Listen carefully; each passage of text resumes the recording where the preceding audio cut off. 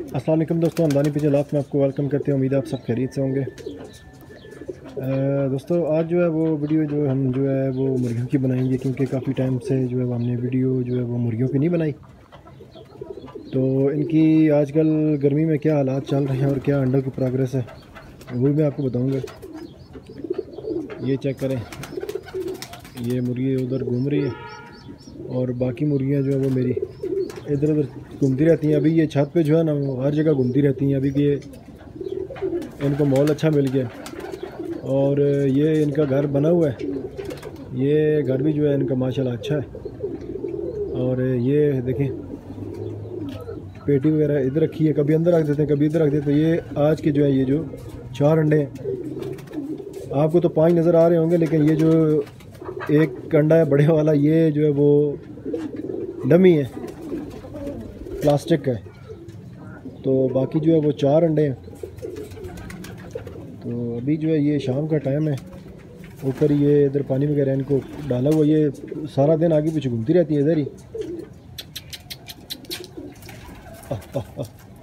یہ چیک کریں۔ بلاؤ تو بھاگ کے آتی ہیں یہ۔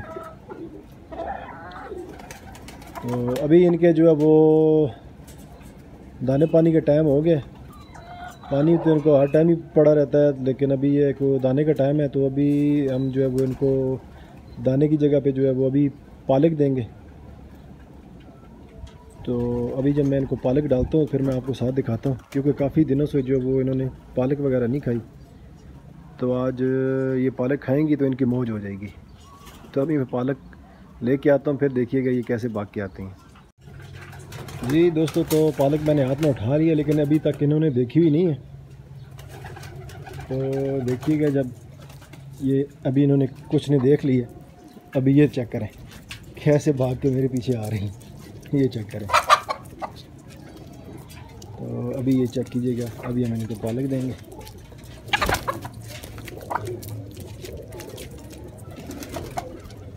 یہ چیک کریں۔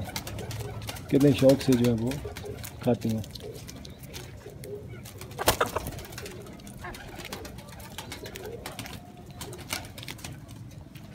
تو ابھی جو ہے وہ ان کو فیڈ وغیرہ نہیں دے رہے، کیونکہ بہت گرمی ہے اور ابھی تو مجھے وہ اس طرح کے انڈے چاہیے بھی نہیں تھے زیادہ۔ تو ابھی یہ بس دانے پہ ہی جو ہے وہ جو انڈے دے رہی ہیں، یہ تقریباً ابھی سات آٹھ مرغیاں ہیں۔ تو آ جاتے ہیں بس، تین چار انڈے، پانچ انڈے آ جاتے ہیں۔ تو ابھی اتنے ہی بہت ہیں۔ چیک کریں۔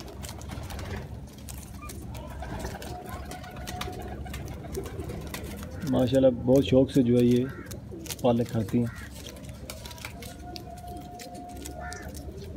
پالک سے یہ ہے نا کہ ان کی صحت بھی جو ہے وہ اچھی رہتی ہے۔ اور مکس دانہ وغیرہ جو ہے وہ لازمی ہے ان کے لیے۔ ساتھ میں روٹی وغیرہ بھی ان کو ڈال دیتا ہوں ابھی۔ پہلے تو جب فیڈ پہ تھی تو صرف فیڈ تھی، اس کے علاوہ اور کچھ بھی نہیں تھا۔ ہاں بات یہ تھا کہ وائٹامن وغیرہ دے دیتا تھا۔ تو ابھی ان کی اور کبوتروں کی جو ہے وہ سب کو جو ہے وہ وائٹامن وغیرہ اور اینٹی بائیوٹک کا جو ہے وہ کورس کروانا ہے۔ گرمی بہت زیادہ تیز ہے۔ تو آگے جو ان کو کورس کروائیں گے تو وہ بھی آپ دوستوں کے ساتھ شیئر کریں گے۔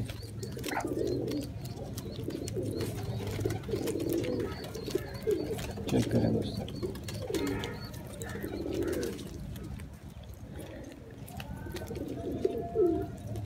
تو ٹھیک ہے جی۔ ابھی تک کے لیے اتنا ہی ویڈیو اچھی لگے تو ویڈیو کو لائک کریں، شیئر کریں اور چینل کو سبسکرائب کر دیں۔ ملتے ہیں کسی اور ویڈیو کے ساتھ۔ تب تک کے لیے اللہ حافظ۔ السلام علیکم۔